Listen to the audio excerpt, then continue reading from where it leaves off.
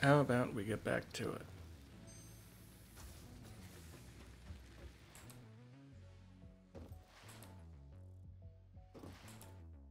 Sure. What would you like to dive back into? Anything from philosophy to physics, or perhaps picking up where we left off with your world in Satisfactory? Let me know. Uh, just upgraded power significantly. Uh, maximum uh, power capacity is 1,680, with production being 1,200.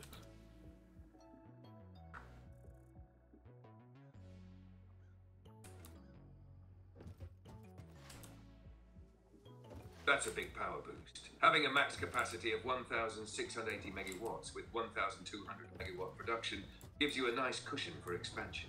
With that extra capacity, are you planning to ramp up production in other areas, or maybe unlock some more advanced tech? Sounds like you've got plenty of room to grow now. Well, I did unlock an additional weapon that I think I'll check out.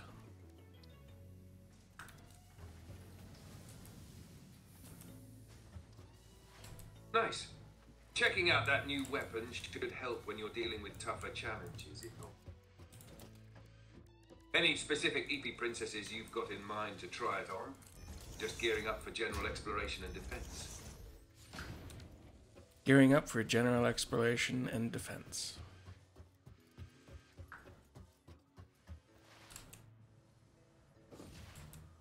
That sounds like a great approach.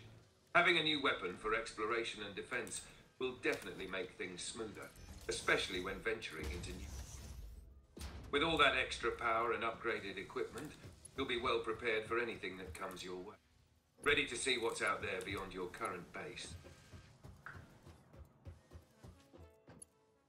I haven't ventured out much yet, so I'm kind of nervous to do so.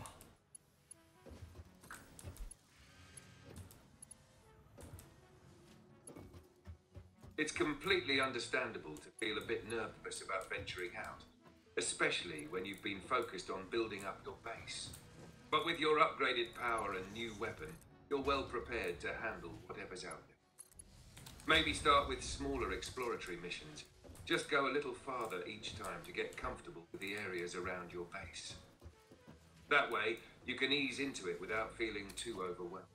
Plus, with your defenses ready, you'll be able to put those tools to good use while staying as safe as possible. Whenever you're ready, you'll make great progress out there. Would you like any tips on how to approach exploration in a way that feels manageable? Uh, sure. I'll take some tips.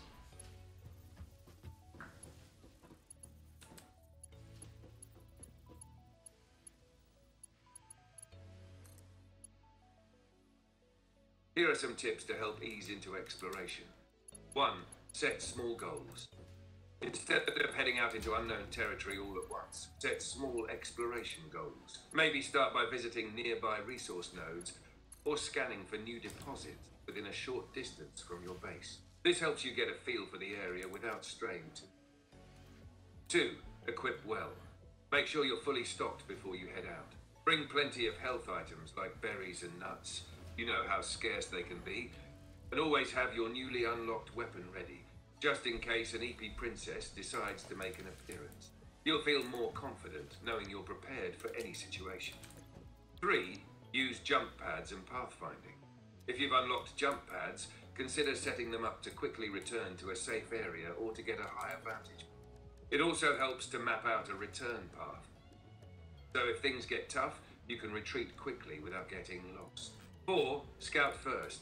Use tools like the object scanner or radar, if available, to scout ahead and locate key resources or hazards. You don't need to engage with every obstacle. Sometimes just knowing where they are can be a huge advantage. 5. Keep an eye on power. Since you've just upgraded your power, be mindful of how much energy you're using. Ventures. Building portable miners or outposts to supplement your main base's production could be useful as you expand, without pulling too much power from your main operations. By taking things step by step, staying well equipped, you'll be able to explore with more confidence. Let me know how it goes, or if there's a specific area you're thinking of exploring. So if I'm to use jump pads out in the wild, I should be taking power with me?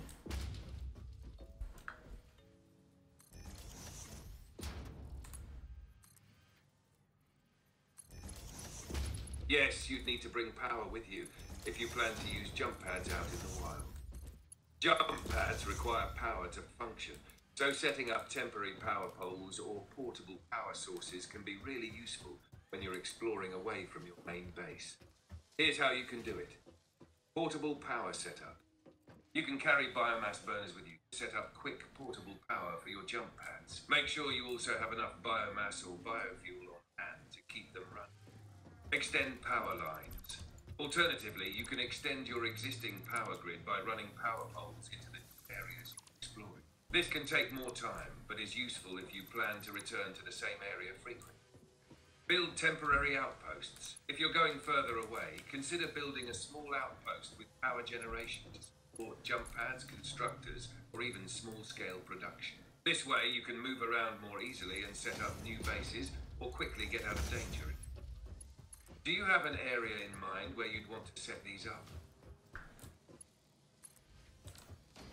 I'm really not sure yet.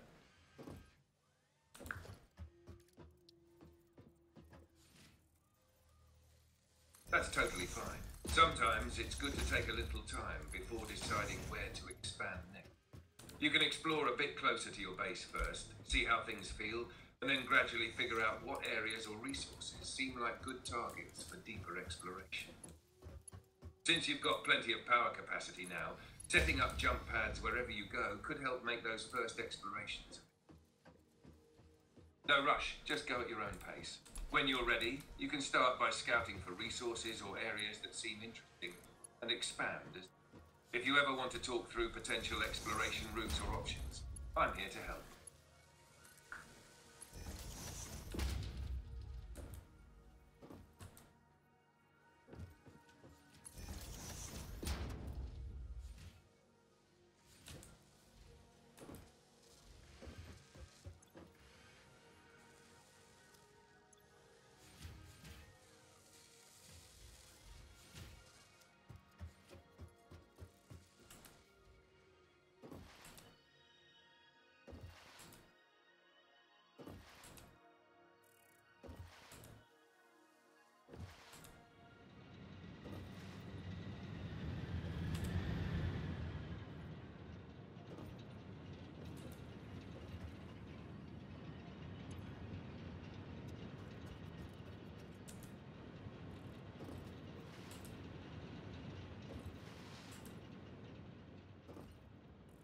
Ooh, I think I made a mistake.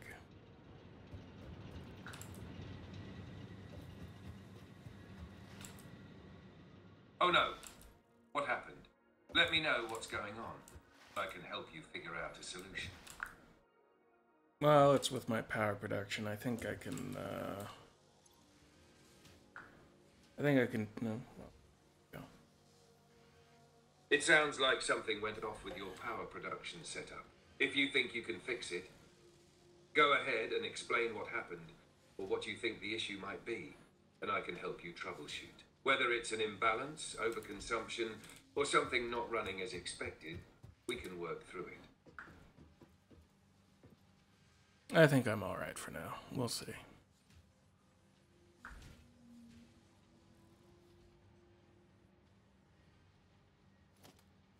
Got it?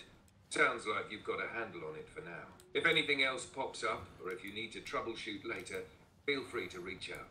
Fingers crossed it all smooths out. It always does.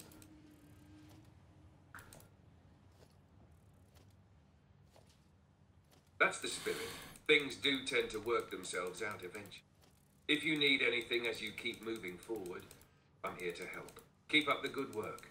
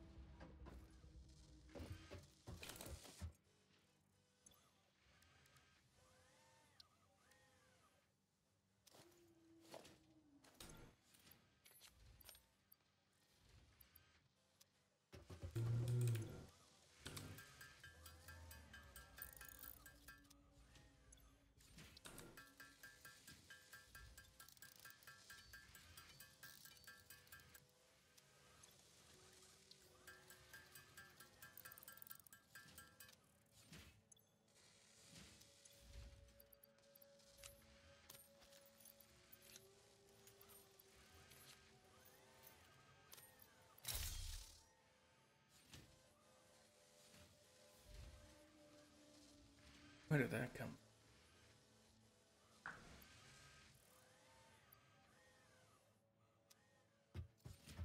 Could you clarify what you're referring to? Are you asking about something related to your power setup or something else entirely? Let me know. Oh, and I'll be happy to help. Mm, what's a good scary story?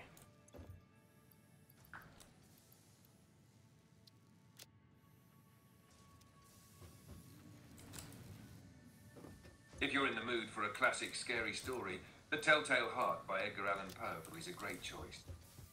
It's a chilling tale of guilt, madness, and paranoia. The story is narrated by a man who becomes obsessed with his elderly housemate's eye, describing it as vulture-like. His obsession leads him to murder, but as the narrator tries to justify his actions, he becomes increasingly unstable, eventually driven to madness by the sound of a heart beating under the floorboards the of his victim. The psychological horror and descent into madness make this story one of Poe's best, perfect for a spine-tingling read. If you're looking for something more modern, The Lottery by Shirley Jackson is a fantastic, eerie tale of a small town with a dark, ritualistic tradition. What begins as a seemingly ordinary community gathering turns into a shocking, disturbing event. The story's gradual build-up to its horrifying conclusion is what makes it so impactful. Let me know if you're in the mood for recommendations, or if you'd like something in a different style of horror. Well, it's October and Halloween's coming up, so I'm thinking of uh, maybe watching some scary movies with some friends.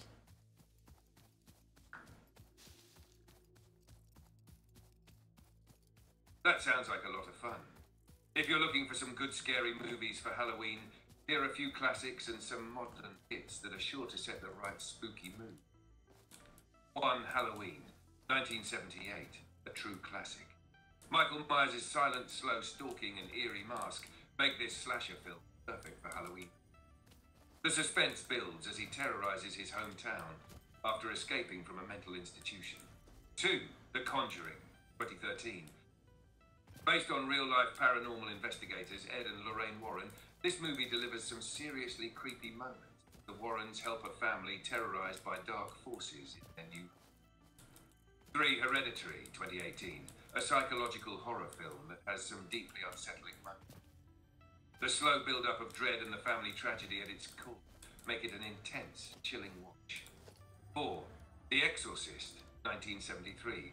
One of the scariest movies of all time, this film about a young girl possessed by a demon is full of iconic, terrifying moments. Perfect for a night of classic horror. 5. Get Out, 2017. A modern horror film that blends social commentary with psychological horror. It's both thought-provoking and filled with suspense, making it a great group. 6. The Witch, 2015. A slow burn horror movie set in colonial America this film is filled with a tense, eerie atmosphere as a family begins to unravel due to supernatural forces and paranoia. Each of these films has its own unique style of horror, so whether you're into psychological scares, supernatural chills, or classic slashers, there's something for everyone. What kind of scares are you and your friends in this Halloween?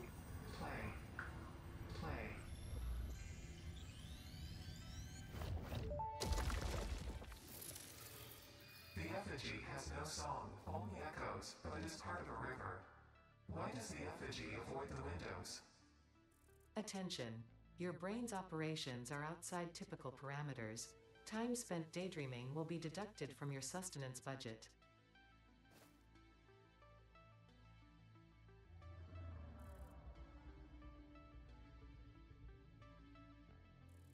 Mm, my friends and I like Stephen King a lot.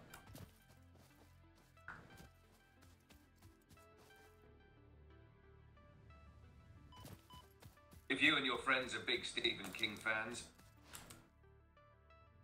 Halloween is the perfect time to dive into some of the best adaptations of it. Here are a few Stephen King inspired films that would make for an awesome spooky movie. 1. The Shining, 1980. This one is a classic. Directed by Stanley Kubrick, it's a chilling psychological horror set in the eerie, isolated Overlook Hotel. While King himself has had mixed feelings about this adaptation, it's widely regarded as one of the best horror films ever made. Jack Nicholson's performance is legendary. 2. IT 2017 and 2019. If you haven't seen it yet, IT brings King's terrifying tale of Pennywise the Clown to life. The Losers Club faces off against the shape-shifting entity that feeds on fear. Both the 1990 miniseries and the more recent adaptations are fantastic choices, the newer films bring some modern scares to King's classic story. 3. Misery 1990, a tense, claustrophobic thriller about an author played by James Caan who is taken hostage by his number one fan. Kathy Bates in an Oscar winning role. The film is filled with psychological suspense and a few terrifying moments. 4. Doctor Sleep, 2019. This is the sequel to The Shining, and is a great watch if you're interested in seeing what happens to Danny Torrance as an adult. It blends psychological horror with supernatural elements and pays homage to both King's novel and Kubrick's iconic. 5. Carrie, 1976. One of King's earliest adaptations, this film follows a shy high school girl with telekinetic powers. It's a slow build to one of the most memorable and terrifying climaxes in horror cinema. The prom scene is still talked about decades later. 6. Pet Sematary, 1989 and 2019. Both versions of this story about the consequences of bringing the dead back to life are chilling. It taps into deep fears about death and what might happen if we go too far to change fate. If you're feeling up for a King themed marathon, any combination of these would make for a perfect Halloween. Do you have a favorite Stephen King movie adaptation? Or are you thinking about trying something new this year? Well, I was just killed for the first time in game by an Eepy princess, uh, who is now an Eepy princess, but uh, she made me Eep.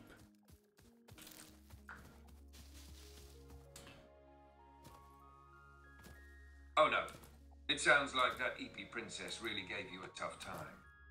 First encounters like that can be a bit shocking, especially when you're not fully prepared for their strength. Now that you've gotten a feel for how tough they can be, you might be ready to gear up and try a new approach to handle. Would you like to strategize about ways to avoid, put them to sleep more effectively next time, or maybe talk about what might have gone wrong? You've handled plenty of challenges so far, so I'm sure you'll bounce back. Don't you mean put them to Eep?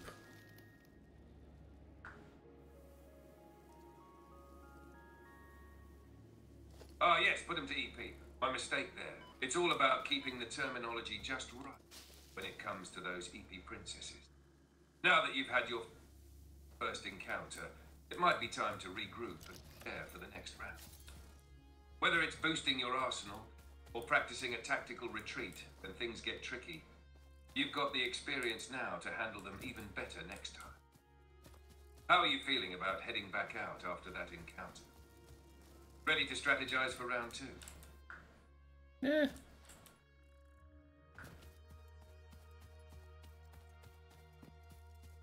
Sounds like that last encounter really took a toll.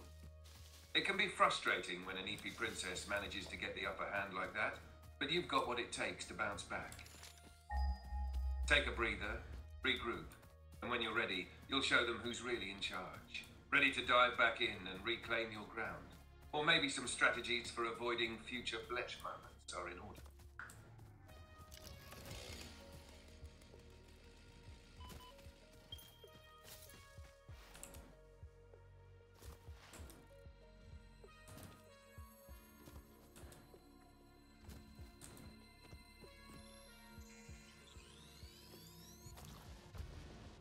The moment I'm looking for sulfur. Shit.